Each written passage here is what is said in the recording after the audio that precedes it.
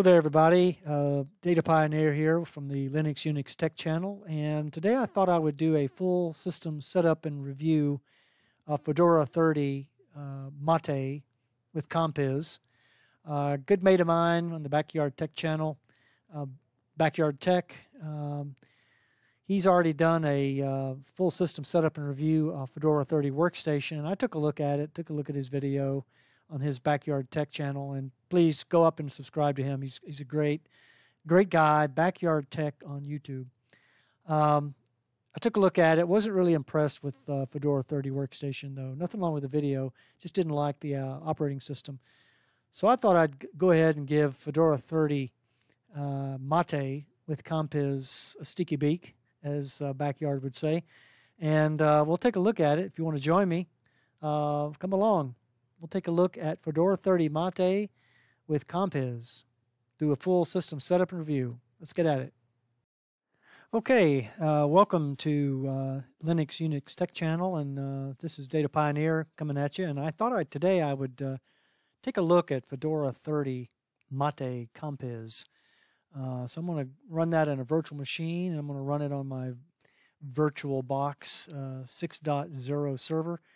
Uh, so I'm going to go up here and let's get started with it. I'm going to click on Machine, New, and open the interface here. I'm going to call this uh, Fedora uh, 30, and I'm going to call it uh, Mate, com I'm going to be underscore Compiz. All right. It's based on Fedora 64-bit, and I'm going to give this thing a pretty good, fair amount of memory. I've got 16 gigs here on this main PC. Uh, so I'm going to go ahead and give it uh, 6144, which is, I believe, six gigs of uh, of memory. I'm going to create a virtual hard disk drive now. So I'm going to create. I'm going to give it 32 gigabytes of VDI space. That should be sufficient for this uh, virtual machine. It's a VDI, uh, virtual box uh, disk image, dynamically allocated.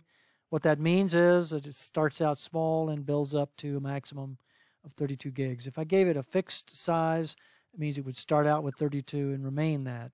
I'm going to do a dynamic create. create. So we've created the VDI. I'm going to go ahead and hit settings here. We're going to change some settings. Under general, I don't need to make any changes at all. Under system here, I'm going to untick the floppy, select the hard disk, and move it up. Um, I'm going to uh, click on, I'm going to keep it at one processor here. All right. I only have one processor, a dual core uh, i3 Intel uh, 3.9 gigahertz. For display, I'm going to select the full 128 megs here, one monitor. I am going to switch from VMS VGA to VBox VGA. All right, and I'm going to enable 3D acceleration. For storage, I'm going to click that empty and I'm going to select the uh, virtual optical disk file and I'm going to um, go out to where I have my uh, ISO stored, which is in the LastVol 2 drive F, which is out on the dual bay uh, external hard drive. I believe this is my Western Digital Black Enterprise drive. I'm going to select the Fedora Mate Compiz Live x86-64.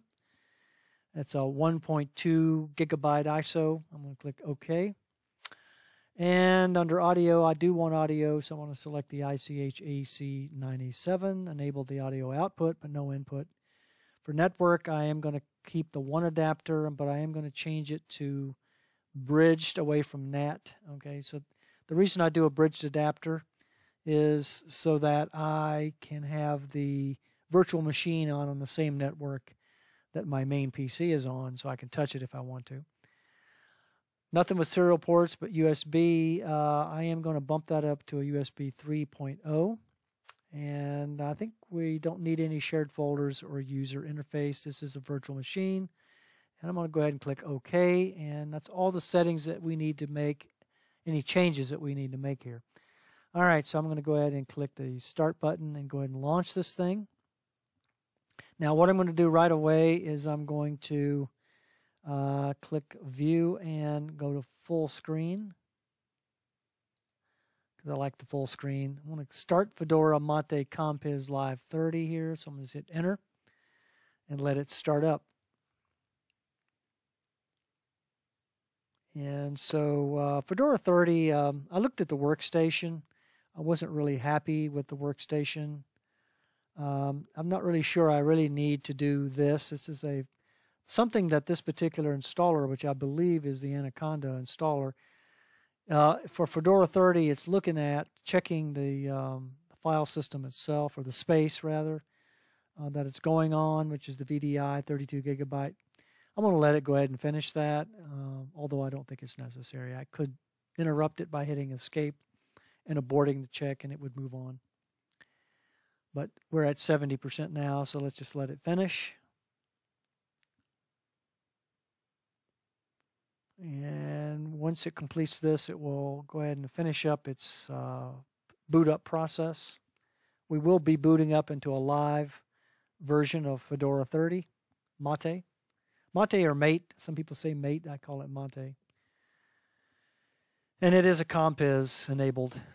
Um, we did get a failure on the monitoring the hardware. Um, not sure why. It doesn't really seem to impact anything negatively, so not a big deal. This is a virtual machine, so that's, you know, you can't expect things like that. If you were doing this on bare metal, it probably wouldn't matter. All right, so this is a live version, so I'm just going to go ahead and hit login. And that should log me into the live CD version, or DVD version, rather, of Fedora 30 Mate.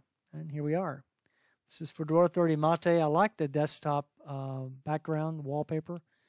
I really like that. Fedora is good for wallpapers, uh, and you do have a selection you can deal with and select from. Uh, we've got the standard panel at the top. We've got the panel at the bottom. I'm just going to go ahead and install the hard drives. I'm going to right click and open here. Not going to do anything in the live CD DVD version.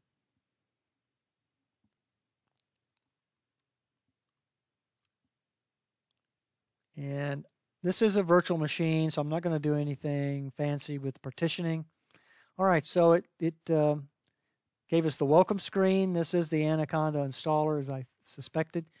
Um, we're on the English language, United States here, and so I'm just going to click continue.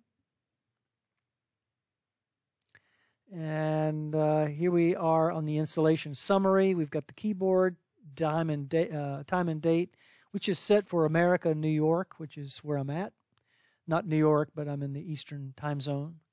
Uh, English keyboard is good. Um, I'm going to change this network and host name here, but for installation destination, I'm going to select that. And we have the ATA VBox hard disk, 32 gigabyte. That's okay. That's what I want. As I said, I'm just going to let it do an automatic configuration. I'm not going to do a custom here or anything like that. Um, not going to worry about MBR or UEFI boot or anything like that. I'll just let it do it automatically. And so let me just go ahead and click Done. And it does take a few seconds for it to uh, do its thing here on the automatic uh, configuration. It's checking that storage configuration now to make sure that we do have the 32 gigs. We do have it. I'm going to click this network and host name. By default, the host name is localhost.localdomain. I'm going to change that to, uh, I have a, a uh, DDNS set up on my router, and so I'm going to call this Fedora uh, 30 Mate Compiz dot asuscomm.com as the full fully qualified domain name. So it's Fedora 30 Mate underscore compiz.asuscomm.com. I'm going to apply that and then I'm going to click done and let it change that. And it should come back to uh, the previous screen that we had here in a moment after it makes that change for us.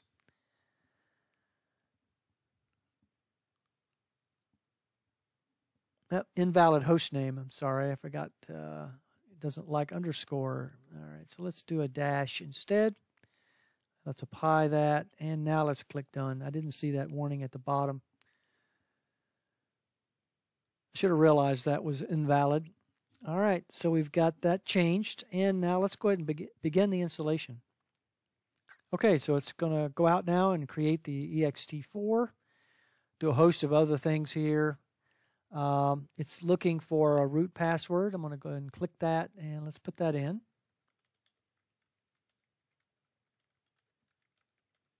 All right, and I don't want to lock the uh, the root account. Let's go ahead and create that user. So I'm going to give it my name. Username, I'm going to call it Data Pioneer. Uh, for password, I'm going to go ahead and require password.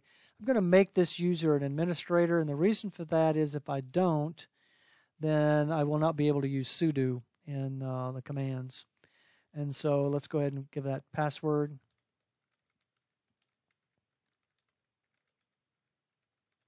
It's not like that would be a big deal if I forgot to check that because you could add yourself to the wheel group afterwards and be okay with that. Uh, but I just want to go ahead and let the system do that for me. Now I'm going to click Done. All right, so we've got a root password set. We've got a user account created. It's zipping through the installation of the software. It's at 22, 23% right now.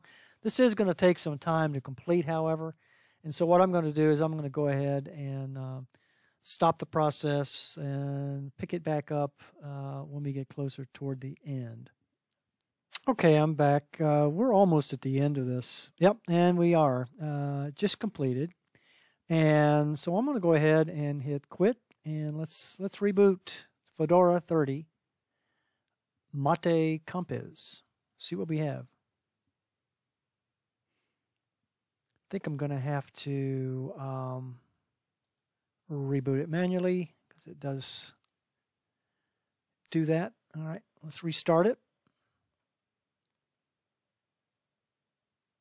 And um, check it out.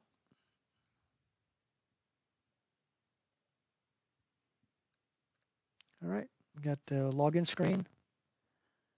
And uh, Fedora 30 is going to boot up now.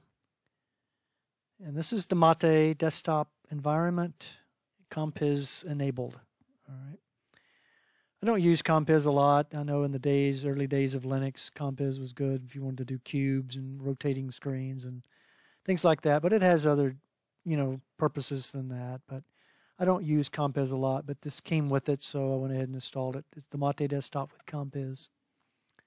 All right, so it's coming up. We should get a login screen to log in and I've set up a user account so we should see that user account as well. And here we are. So we're at the login screen, so let me go ahead and log in. And I'm logging in now. Let's see what we have. All right, and very nice. Okay. Okay, so we have uh, two panels. We got a top panel here and a bottom panel, and then we have the Fedora Live uh, um, DVD still out on the desktop here, connected to it. The Data Pioneer's home and trash and computer icon here, and so um, we'll get into the review here momentarily. I'm going to go ahead and uh, okay, uh, well now that we've rebooted the the system here with Fedora 30 uh, Mate Compiz, uh, you'll note that I have my Data Pioneer Southeast Home folder out on the desktop. If I double click on it, it brings up this interface here, and um, I think this is Caja, I believe. Uh, let me just check about. Yeah, it's Caja, Caja 1.22.1. Uh, it's a pretty good uh, file manager. Uh, it's not bad. Um, I like it. And uh, there's a link here to the Mate website, by the way, that you can click on, so you can go there if you want to check it out. Let me go ahead and close that. And notice we have um, a desktop, documents, downloads, the typical, you know, music, pictures, public, etc., etc., videos. Uh, very nice interface. Let me go ahead and close that. We got a pretty good um, wallpaper out here. I like um, Fedora's wallpapers. If you want to change that wallpaper, you can right click on the desktop and say change desktop background. If you want to do that. And that opens up the appearance preferences window. And give it a few seconds. Here's uh, some of the wallpaper that you have available. It's pretty slick. Uh, got quite a bit here. Um, if you want to change it to something like, you know, stars, you can change it that way. And um, let's see, and that will bring up, you know, a new wallpaper. You can change it to another wallpaper. You know, you got a, a lot of, of uh, options here. Uh, I like this one. I'm just going to change it back to that. And um, you can stretch it or you can um, uh, scale it, center it, zoom it, tile it, whichever you want to do. Um, I think stretching is probably the best. You got a horizontal gradient for color here on this particular wallpaper. I'm going to leave it alone. Kind of like the way it looks. So I'm going to go ahead and close this. All right, and so we also have a computer icon out on the desktop. If I right click and open that, uh, it opens up uh, the VBox CD-ROM, uh, the VBox hard disk, and the file system. If I double click that, it brings up the file system itself, which is the typical Linux file system. This is um, Mate, uh, based on Ubuntu, and so um, you're going to get that. So let me go ahead and close this. Okay, uh, we've also got the trash icon out here, uh, or rubbish bin, whichever one you want to call it. We've got two panels here. We've got a panel at the top and we've got a panel at the bottom. The panel at the bottom right now is has my workspaces configured. Um, I don't particularly care for the panel at the top and the bottom. So what I'm going to do is I'm going to right click on this panel. I'm going to delete the panel and say delete. So it's gone now. And what I'm going to do here on the top panel is I'm going to right click on it and I'm going to say, um, let's see here. I thought I could move it right away. Uh, about panel properties. All right. So let's say orientation. There we go. I'm going to say bottom instead of top. So it's at the bottom now. The size is okay. I think that's fine. I don't like to auto hide the bottom panel. Um, so I'm just going to leave it the way it is here and click close. So now I've got the bottom panel in place and uh, I want to move some things around here though. I think I want to add, um, well, moving things around probably not so much, but I want to add uh, the workspaces back. So I'm going to go ahead and add to panel and it's called workspace switcher and I'm going to add that to the panel all right, I'm going to close that. And so there it is. I'm going to right click on it. I want to move it. So I'm going to move it over to about there. I want to add some more um, workspaces. I like to have at least six out here. So I'm going to go ahead and click, right click and preferences. And here I want to add two more workspaces. It's a little long here. So what I'm going to do is I'm going to add another row, double it up, and then I'm going to close it and then I'm going to right click and move it again and move it closer to the right hand side and close it. All right, so I've got six workspaces now that I can deal with. Um, let's take a look at what we have here. Uh, off to the right, we've got our workspace switcher now in place. We have the output here for the sound. I've got 45%. We've got our Ethernet network connection, which is wired uh, and it's it is a virtual machine on my main PC. Got our calendar here, and so we've got that. We can you know change that. Everybody's familiar with the calendar, so we got it for August 2019. This is the 25th, um, and then we've got the time. Okay, and so the time is 11:40. Um, off to the left-hand side here, we've got the Fedora logo. Okay, and we've got an applications um, selection here. Universal access, system tools. We've got SE Linux, that's system uh, or security enhanced Linux. Troubleshooter, uh, problem reporting, uh, power statistics. We've got the Mate terminal, the Mate system monitor, the Mate disk user or use analyzer. Okay, so we can see how much of the disk we're actually using. This is a virtual disk of VDI. All right, and so um, we have logs, log file viewer, htop. Let's take a look at htop. And um, I thought it was going to bring htop up, but it didn't seem to bring it up. Let's try that again. And if it doesn't bring it up, then what I'll do is I will open up the terminal and let me do an HTOP. Not sure why that didn't open up HTOP. Okay, so here we have HTOP.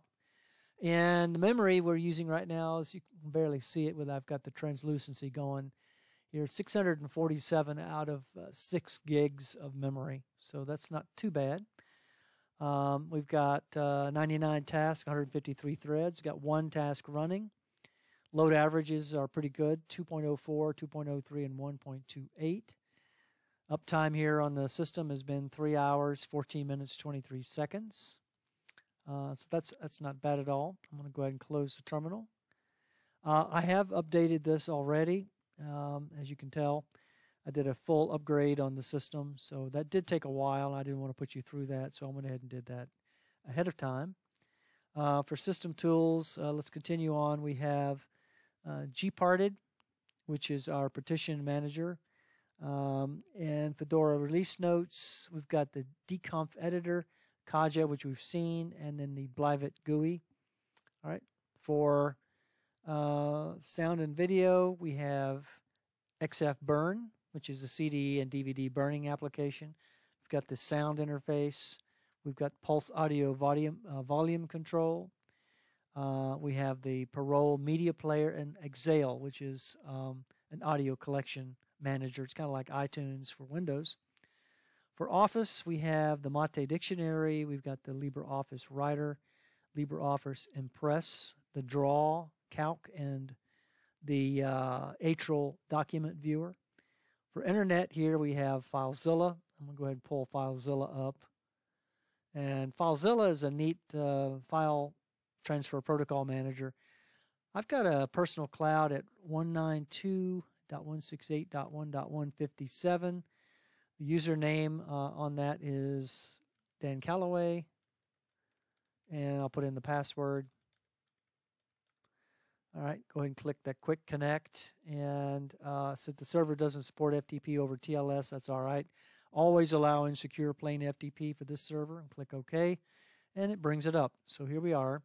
I'm looking at my personal cloud. I've got a public side here uh, on it. And um, so I can have uh, shared documents, shared music, shared pictures, shared uh, software, videos, and uh, temp storage. So if I go into um, shared pictures, I've got a folder here called Bridges, uh, which is a collection of Bridges pictures. Let's come down to the pictures on the local system. Let me double click on it. I'm going to uh, just drag and drop pictures into that area and let it copy it down. All right, so it's copying now. And it is uh, copying those off, and it looks like it was successful. And so we now should have a Bridges folder out on the desktop under the Pictures folder or Pictures directory on the system. Let me go ahead and close FTP. And if I get into my home directory and go to the Pictures directory, there's the Bridges directory that I just copied down all those files from my personal cloud. So worked really well in virtual machine. All right, and uh, let me go ahead and close that. Okay, so where were we? We were on applications, internet and FileZilla. We've got Firefox. Let's go ahead and open up Firefox. See what we have, what version we have. We should have uh, a fairly new version here. This is a, a new distro. Um, uh, all right, so let's go over to here, to Pancake, go down to Help, and go to About Firefox. And we're at 68 point or dot zero dot two 64-bit Firefox Quantum. So that's the latest version as far as I know. Very good. Okay. Um, we can do a few other things here. We've got the library, we've got add-ons, we've got preferences. We can customize things in this browser. Uh, we've got uh, find on this page, which is a search functionality. We have more. We have web development. Uh, we have print uh, capability here. We can even customize the browser as well. I'm not going to do that because everybody's familiar with the browser. All right, so we have Firefox 68.0.2 for Quantum. Very good. Uh, for applications, again, up on the internet, we have HexChat. So if you're into internet relay chat, they've got the HexChat. Thunderbird, if you are, uh, you know, a mail person and you want to um, have a mail client. You can use Thunderbird as your mail client. Personally, I don't use it. I use uh, the web-based mail for Proton Mail, so I don't need a mail client. And then transmission, which is a BitTorrent um, for downloading files from the web. Uh, basically, if you're not familiar with uh, with torrents, what the, those do, or what they allow you to do, rather, is they allow you to um, take files that are broken up into pieces, uh, download those individual files, and then the BitTorrent client brings them together at the end, uh, which is a little faster uh, than your regular main download or straight download a lot of times. Okay, and so now we have graphics. We've got Eye of Mate image viewer. So let me open that up. Let's take a look at that. Let's open that up into full screen. And let's do an image open. And let's open up the screenshot of the Fedora 30 uh, Mate Compiz or Mate, if you want to call it that. Let's open that file up. And there it is. And so not bad. Um, this was the screenshot I took earlier of the system and uh, I'm going to be changing it to this look and feel here in a moment. Okay, so under places we have uh, recent documents, we got the Mate search tool, connect to server, we have the network, we have computer, we have downloads, videos, pictures, music, documents, desktop, and home folder. Under system, we can shut the system down. If we do that, we can suspend, hibernate, restart, or cancel, or shut down. I'm going to go ahead and cancel it. Um, we can log out. We can lock the screen. This is about Mate, telling us about the desktop environment that we have, which is 1.22.1. We're going to close that. Um, we have a help functionality. We have the control center, which is very nice. And in the control center, we have the administration, we have hardware, we have internet and network. Go back to administration. We have something new to me um, because I'm familiar with Fedora. It is a spin of uh, Red Hat, um, open source version. And so I'm familiar with the Yum uh, Yellow Dog Update Manager, Package Manager, but this is new.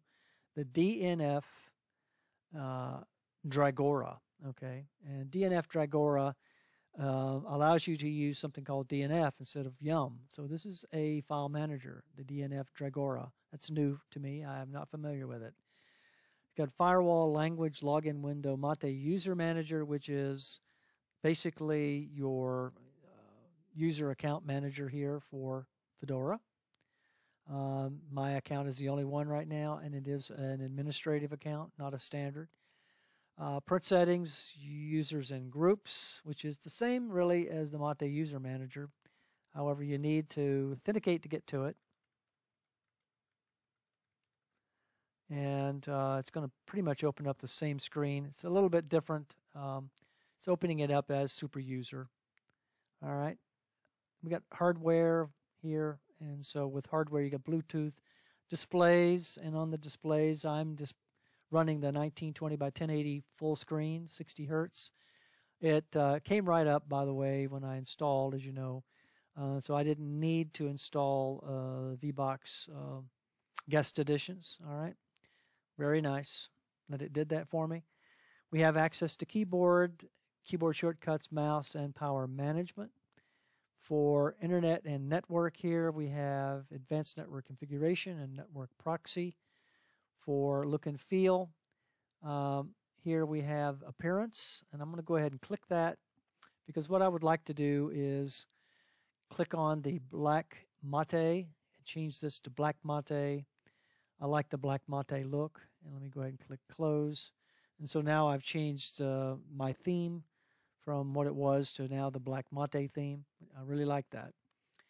Uh, so under look and feel, we have the Caja Actions configuration. We have the Compiz config settings manager, Emerald theme manager, the main menu. We've got a pop-up notifications access. We've got screensaver, simple Compiz settings manager, Windows, um, under personal, we have the About Me, the Assistive uh, Technologies, File Management, Input Method Selector, Onboard schedule, uh, Settings, uh, Preferred Applications. If we click that, we can change uh, our web browser if we've got a secondary web browser. I do not, so that to leave it the way it is.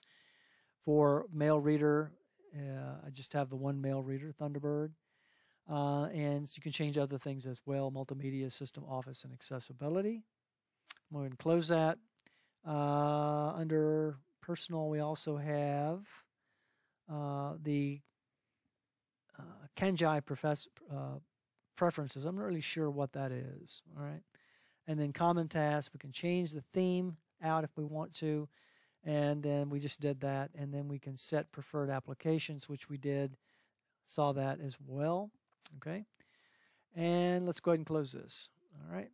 So that's, I think, everything that was under system um, administration. Yeah, these are under the control panel firewall, language, login window, Mate user manager, print settings, etc., preferences, hardware, internet, etc., etc. We've already seen that. Okay, so this has been a, a kind of a sneak preview here of uh, Fedora 30 uh, Mate Compiz. Um, I like it a lot. I like what I see here. Um, I can get into the terminal, and as I said, I can run like a, you know, pretend I'm going to update the system. I've already done it. We may have some more updates. I'm not sure. But what I can do is a sudo dnf, not yum, and search. Or let's do uh, update. Okay. And so I'm going to put in the password for Data Pioneer Southeast. And let's uh, let's run an update of the system here. We may have some additional updates, not quite sure. And so uh, it's checking uh, for metadata expiration, nothing to do. So all the dependencies were resolved, nothing to do here. It was complete. But notice we didn't use the yum, we used the DNF. That's because of DNF Dragora, okay, which is the uh, Fedora 30 uh, package manager for this system.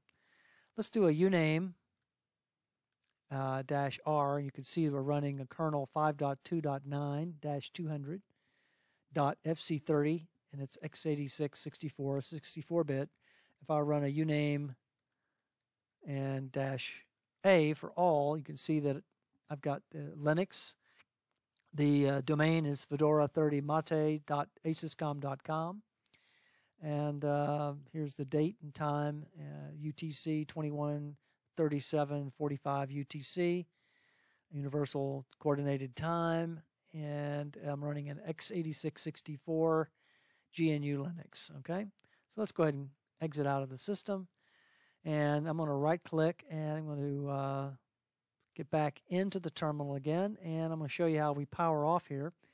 Uh, to get out of this. And so I'm going to go ahead and issue a sudo power off command and power down after I put in the password. Okay, so we're powering off Fedora. And we'll get back to the uh, desktop here. So this has been a look at Fedora 30 Mate Compiz. I hope you enjoyed it. Uh, if you liked that video, go ahead and subscribe to me. Hit the subscribe button and uh, go ahead and hit that bell, and that way you'll be notified every time I have a an update. So thank you very much and have a nice day.